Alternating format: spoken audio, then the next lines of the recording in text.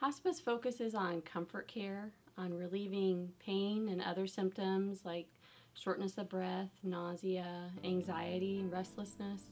Our goal is to keep someone at home rather than going back and forth to the hospital, um, focusing on their quality of life with minimal regard to prolonging their life. The hospice philosophy focuses on pain control, improving quality of life, and not focusing so much on getting better, but just keeping the patient comfortable in their home, wherever that might be. Hospice is an all-inclusive um, program. We provide care for patients who, if the, when the doctor has decided that or feels that their life is limited due to their chronic condition, and it doesn't have to be a cancer diagnosis. There are a variety of diagnoses that can be appropriate for hospice.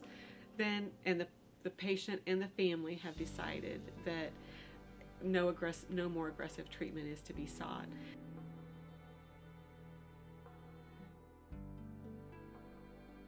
As you start to see a patient decline, you may notice uh, they're eating less, they have less interest in things going on around them. Maybe they start to withdraw. You also start to see a decline in their function.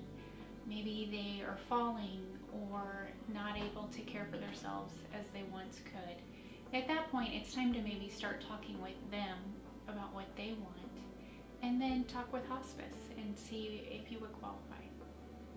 Contacting hospice earlier uh, rather than later is better. We can help someone manage their symptoms earlier on and build a trusting relationship with the patient and their family.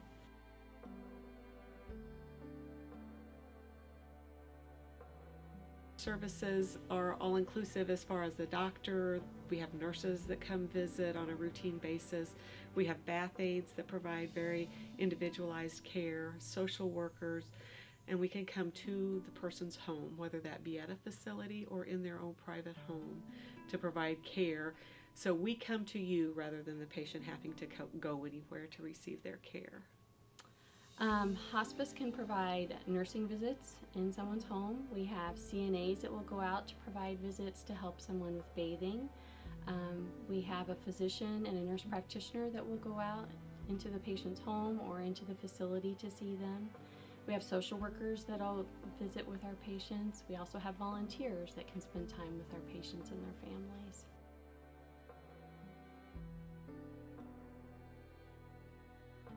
Hospice is covered by Medicare and by many insurances.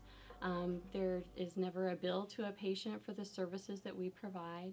Uh, Medicare covers the whole hospice benefit, which includes the staff um, visiting someone, their medications, um, medical equipment that we need to provide, uh, personal care supplies, all of those things are covered under their Medicare hospice benefit. If a person has private insurance, most private insurances do pay for our hospice services, and then Medicare, Medicaid also pays for hospice services. Hospice provides care to the patient themselves, but also to their loved ones, whether that be spouse, children, grandchildren, anyone that's involved in the person's care.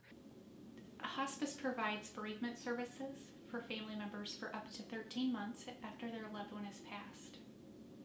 Hospice develops a relationship with the patient's families, and that allows us to provide comfort to them for the future.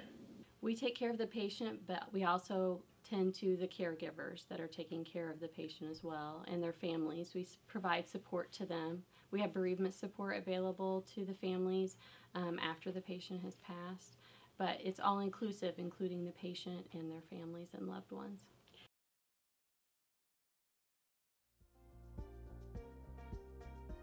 MDH is the local hospice. We have nurses that live here in our community.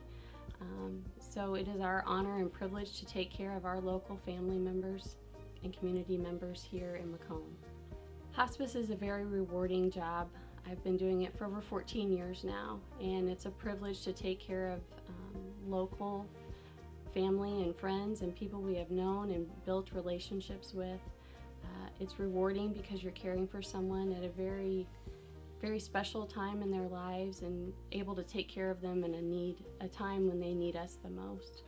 Hospice is fulfilling to me because I get to make a patient's life better by focusing on what's important to them. I don't have to make them do anything they don't want to do, and I can just keep them comfortable and enhance what time they have left. I've been a hospice nurse for 21 years now, and I find that uh, working with hospice it, it is so rewarding and fulfilling in my life because we walk with the patients through this process.